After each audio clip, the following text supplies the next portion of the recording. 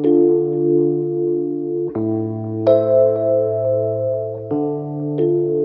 জগতবাসী আজ আমি স্বামী মালি চিস্তি আপনাদের সামনে একটি আলোচনা নিয়ে উপস্থিত হইলাম।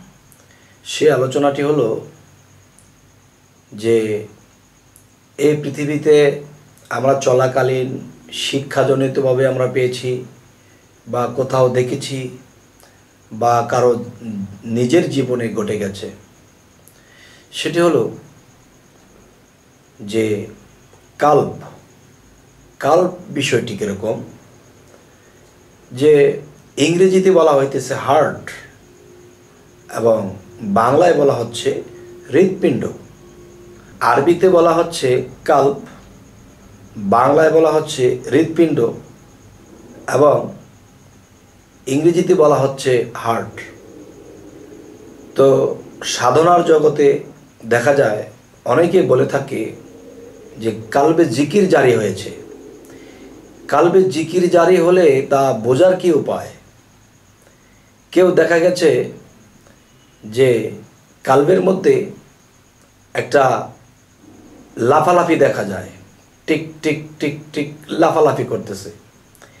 এটা দেখে অনেকে ভাবে যে তার কাল্ব জারি হয়েছে। না বাবা বিষয়টি সম্পূর্ণ এরকম নয়। অনেক মানুষ আছে, তরিকত জগতে বা সাধন জগতে নতুন এসেছে। তারা করে কি, শরীরটাকে একটা ঝাঁকা মারে বা এরকম এরকম করে, শরীরটা নাড়ায়, তখন তার কালবের যে সাইডটা, এটা কাঁপে, একটু নড়ে। কারও আনন্দে করে, কেউ আবেগে করে। আবার কেউ আছে যে অরিজিনাল মতো, এটাকে সে থামায় রাখতে পারে না। সে কাঁপতে থাকে, টিক টিক করতে থাকে। তো এই যে বিষয়গুলো, এগুলো দেখে দেখে কেউ ভাবে তার কাল্প জারি হয়েছে। আরে বাবা, কাল্প জারি হলে সে তো নিজে বুঝবেই, এবং যার কাল্প জারি হয়েছিল কোনো দিন এবং সেই কাল্প জারিওয়ালা লোকটাকে দেখলে সেও চিনতে পারবে। তাই বলা হয়, জহরি জহরি চিনি।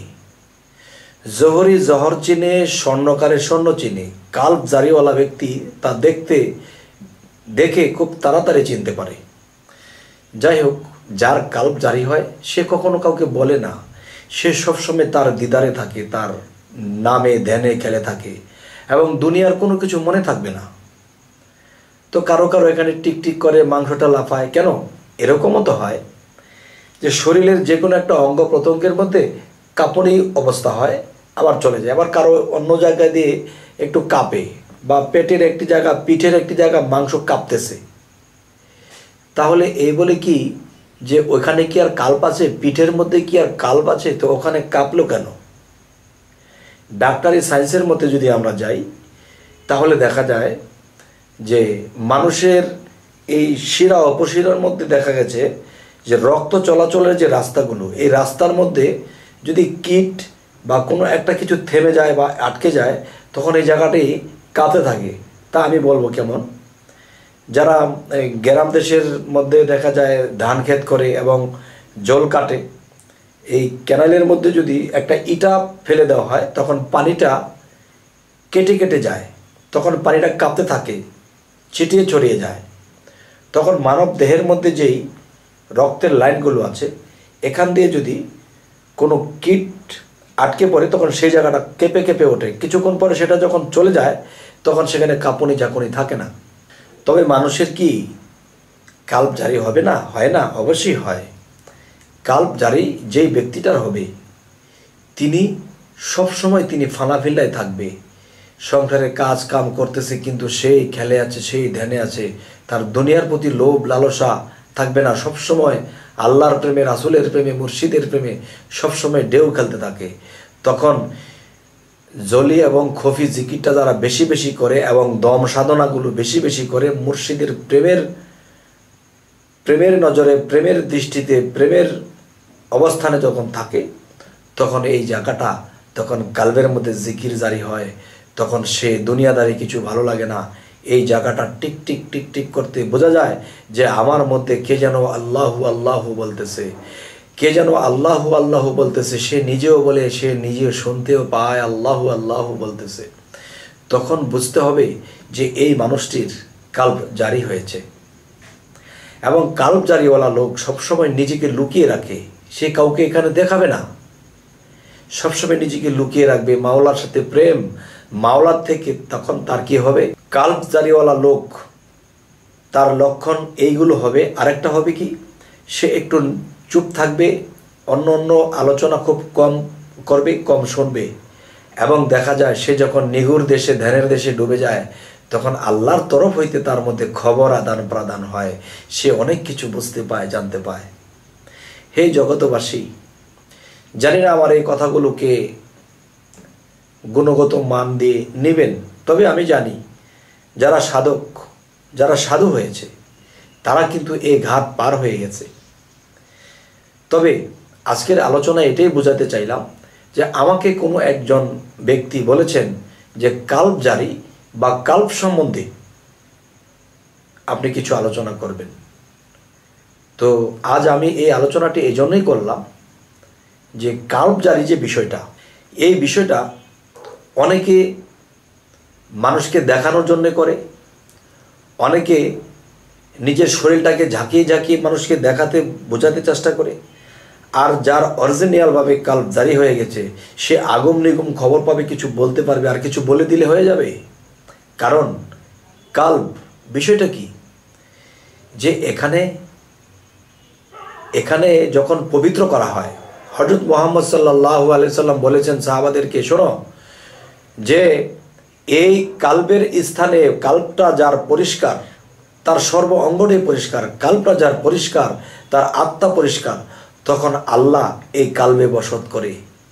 আল্লাহ এই কালবে বসত করে এই বান্দার মুখে দিয়ে কথা বলে যায়, যা কিছু বলে দেয় তাই হয়ে যায়। হে জগতবাসী এই জিনিসগুলো নিয়ে কখনো ঠাট্টা হয় না। কাল জারি করা অত সোজা নয়। প্রেমে ফানাফিল্লা হতে হতে হতে, জিকিরে থাকতে থাকতে থাকতে থাকতে কারও কাল্প জারি হয়। তবে থাকতে হবে নির্ভয় যে আল্লাহ বলেছে, যে নিজেকে পবিত্র করল, সে সফল কাম। যার কালটা পরিষ্কার হলো, তার কালবের মধ্যে আল্লাহ বসে। তবে মনে রাখবেন, যার কালবের মধ্যে আল্লাহ বসে, বান্দার মুখে কথা বলে এবং যা বলে তা হয়ে যায়, দুনিয়া ও আখেরাতের উপকার মানুষের হয়ে যায়, তখন এই মানুষটি আর সাধারণ থাকে না। এই মানুষটি মৃত্যুর পরে এই দেহটাকে আল্লাহ নিজে হেফাজত করবে। কেমন? যেমন একটা ইটা যদি মানুষের বানাইতে হয়, তাহলে এই মাটি খাম্বির করে যখন ইটের খোলায় দেয়, তখন ইটা হয়ে যায়। তখন দেখবেন যে মাটির মধ্যে যখন মাটি থাকে, হয়তো পচা গলা হয়ে যায়, কিন্তু এই মাটির মধ্যে যখন এই ইটা রাখা হবে, কিন্তু এই ইটাকে কখনো মাটি খেতে পারবে না। তো আল্লাহ যে কালবের মধ্যে, যে মানুষের মধ্যে বসবাস করেছে, সেই বান্দার মুখে, সেই বান্দার মুখে আল্লাহ কথা বলেছে, তাহলে আল্লাহর এই আসন কাল আর এই কালটাকে কখনোই এই কালওয়ালা, কাল জীবিতওয়ালা মানুষটির দেহটাকে আল্লাহ পৌঁছতে দেয় না।